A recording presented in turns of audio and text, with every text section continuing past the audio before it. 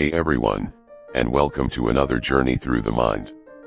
Today, we're tackling some of the biggest, most mind-bending questions humanity has ever grappled with, philosophy.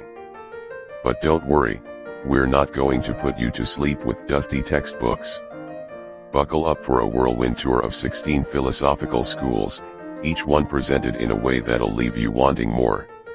This is your chance to see the world through new lenses, to question everything you thought you knew, and maybe even have a few existential crises along the way. Don't worry, we'll help you through them. So, hit that subscribe button, grab your favorite thinking cap, and get ready for a philosophical adventure you won't forget. Romanticism, this is an artistic and philosophical movement emphasizing emotion, intuition, and individual experience, reacting against Enlightenment rationalism and celebrating nature and subjectivity. Here are some philosophers associated with this philosophy theory, William Wordsworth, Samuel Taylor Coleridge, Johann Wolfgang von Goethe. Nihilism, a philosophical belief rejecting traditional values and denying inherent meaning in life, often associated with Friedrich Nietzsche's critiques. Arthur Schopenhauer is associated with this theory. Taoism, a Chinese philosophy emphasizing living in harmony with the Tao, an ineffable force guiding the universe, and promoting simplicity, spontaneity, and balance. Laozi, Zhuangzi are known Taoists. Stoicism, an ancient Greek philosophy advocating self-control, virtue, and acceptance of fate, emphasizing personal responsibility and indifference to external circumstances. Some philosophers associated with this philosophy theory are Zeno of Citium, Seneca, Epictetus, Marcus Aurelius. Existentialism, a 20th century philosophy focusing on individual existence, freedom, and the inherent meaninglessness of life, with prominent thinkers like Jean-Paul Sartre and Albert Camus.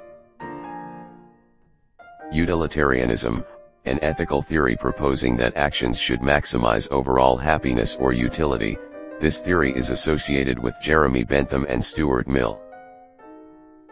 Relativism, the belief that truth, morality, and knowledge are subjective and context dependent, varying across individuals or cultures. This theory is associated with Protagoras, Richard Rorty.